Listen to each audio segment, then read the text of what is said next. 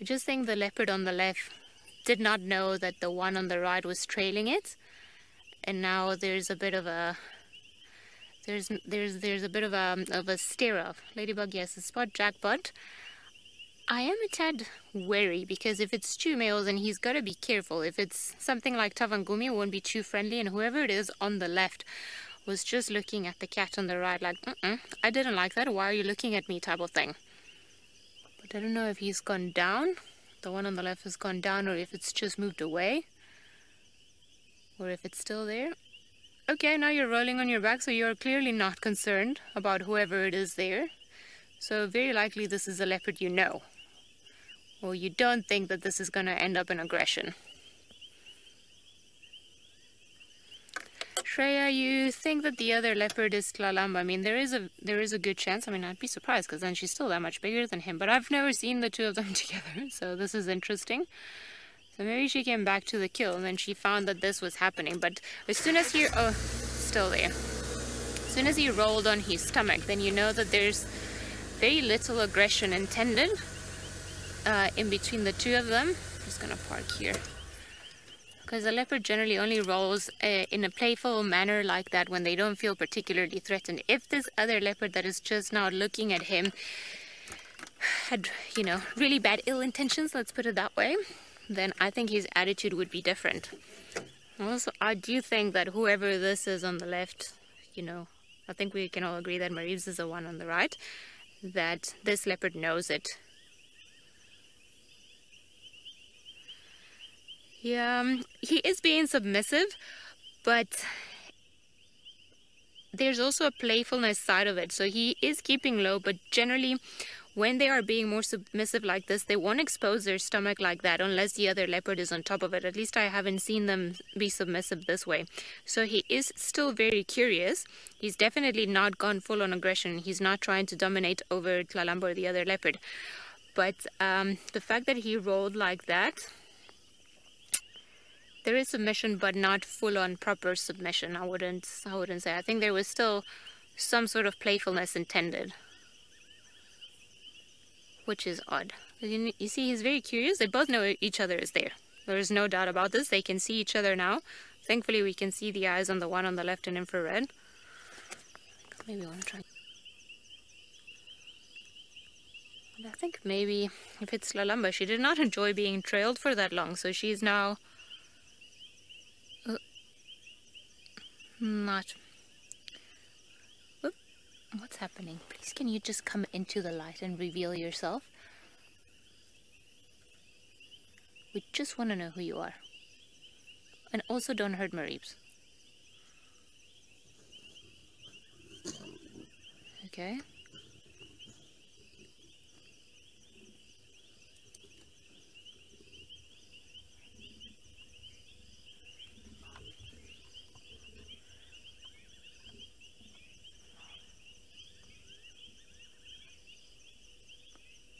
All so definite submission happening there. You see, as soon as this other leopard came, there was, of course, growling, but there wasn't, it went on, it didn't go into a full-on aggression type of thing. It was just to teach him a lesson. There was no swatting, there was no hurting. And Marieb says, okay, okay. I'll take that back, that now this has escalated. But you see Maribs is keeping very low on the ground, very low on the ground, keeping on his back, and then just to a point defending himself, just making sure that he doesn't get swatted or anything, but he hasn't gotten up and gone for the full-on aggression, such as this leopard. Who to me now, this looks like Marib's walking towards us.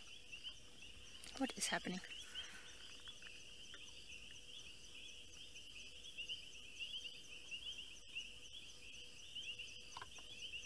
Then who's that? Was that Tlalamba? Do we have this wrong all along? And know there's a random hyena just walking by. okay, hyena, not right now. I actually think that what we witness now is now even more interesting. Because I think now this is Marib's. And I think is the one that was trailing Marib's. And he got upset. I just wish I could see their faces better. This is fascinating. As far as, as leopard goes, this is pretty incredible. So I think whoever we saw had been lying down in the grass for a little bit longer. The first one when we said, or when I said it was like, oh, there are some eyes there. Maybe that wasn't Maribs and there it was this leopard that was trailing behind, which I'm keen to say that is Tlalamba just far away. I mean, can you just... Yeah, you are Maribs. The one closer to us. And you, who are you? Are you Tlalamba? It would make sense if this was West Tlalamba because the one on the right was smaller. So I just...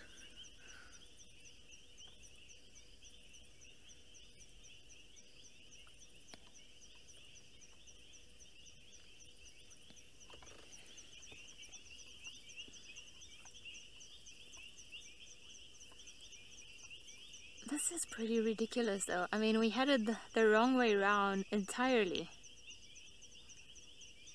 And I wonder how long they've actually been staring at each other. Or how long the one's been staring at Maribs in the tree.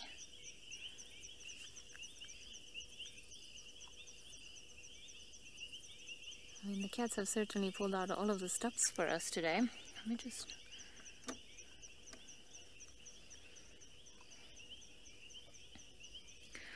Linda, I agree. I mean, whatever we saw now, the, the aggression wasn't too terrible. So it is interesting because at first I thought maybe Maribs was going to be taught a lesson by Tlalamba, but it seems like we've had it wrong the other way around. So it seems like Maribs was walking away and maybe Tlalamba has been eyeing him on his kill, on her kill the whole afternoon or who knows for how long. And then she was trailing him behind because one of them is certainly smaller. So Maribs on the left and then whoever it is on the right.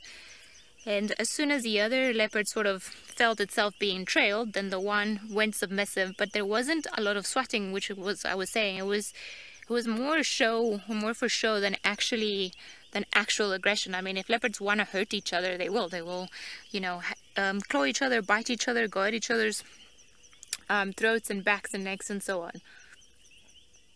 So this is actually very fascinating because this is not the way that I thought things would go. I would I assumed that Tlalamba would pull rank in age, but I suppose she she if it is her, she is smaller than Maribs. Even though I didn't think Maribs was that big of a male leopard yet. Freya, I agree with you. I think it's it's fascinating. So let me try to unpack this because what we've just seen is actually really fascinating and is not at all the way I thought things would be. I haven't spent that much time with Maribs lately and I didn't think he would be at this level in terms of his confidence as a male leopard. But I suppose this also comes in handy what we just saw this show and this growling because this is the way he's going to have to act whenever he wants to become a dominant male. So of course because it's a female and he can know that it's a female, um, or he would have known that it was a female, the aggression didn't escalate to crazy levels. Potentially also he's met Tlalamba in the past, so he's aware of her. But what was interesting was that she was trailing him, so why would a female leopard start trailing a male like that? So it could be that maybe she's coming into heat because she was also like the way that she sort of went on her side before the aggression started like i said i still maintain that it was more on a playful type of thing. There wasn't there wasn't aggression there there wasn't too much submission. It was just almost like oh hi how you doing? And of course then when they had that stare off you've got to you're you've got to if you're a young male leopard i suppose that your bark has got to be much bigger than your bite to try and make sure that no other leopards come across you or try to hurt you so it's been it's actually been really fascinating to watch this whole interaction between the two of them because I didn't think we would be at that stage in Marib's development. I thought he would still sort of be a little bit younger, you know, like the charismatic, sort of almost like goofball that he is, and then he wouldn't show this to Tlalamba, who's older, more mature female. But I think the tables are turning, and I think this we've just witnessed, and we can confirm that he's at a completely stage in his life where now he's gonna he's gonna mean business I mean, I don't know how many interactions like this we would have seen of him with another leopard, but this is, or especially another female, but this is fascinating. I'm not going to move for now because he knows we're here. He can see us, even though I have no idea where he is right now. He could be, okay, well, he's right next to the vehicle. So we're just going to let him go by, and I want to see what Tlalamba does and which way she goes, see if she's going to continue trailing him Or if she's just gonna go, uh, yep.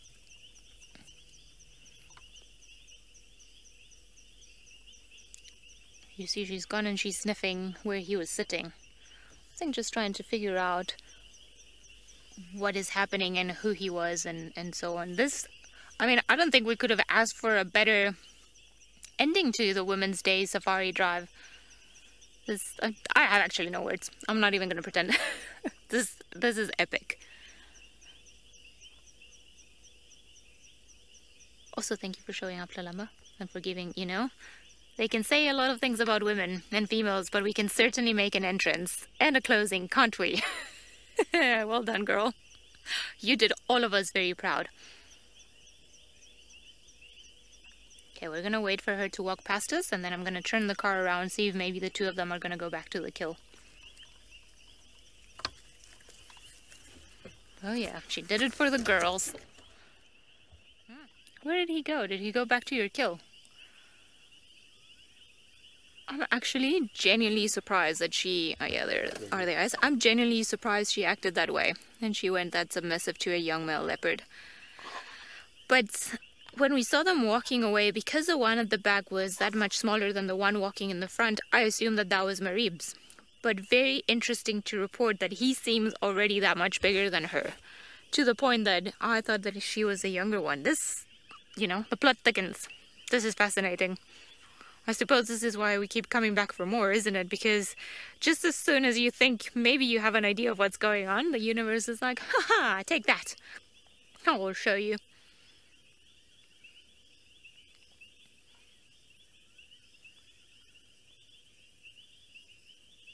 What is happening? Are you guys going to have another spat? Looks very mean, just the two eyes in the darkness like that.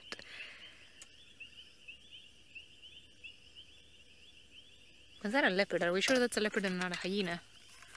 Can't tell from the... No, I think those are spots there. Sorry, sometimes I just need my color vision to be able to distinguish things.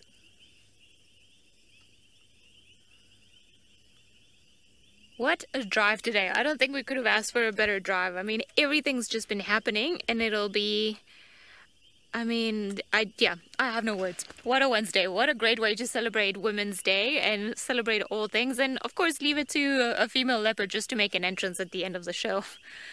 Tlalamba, I think she timed this perfectly.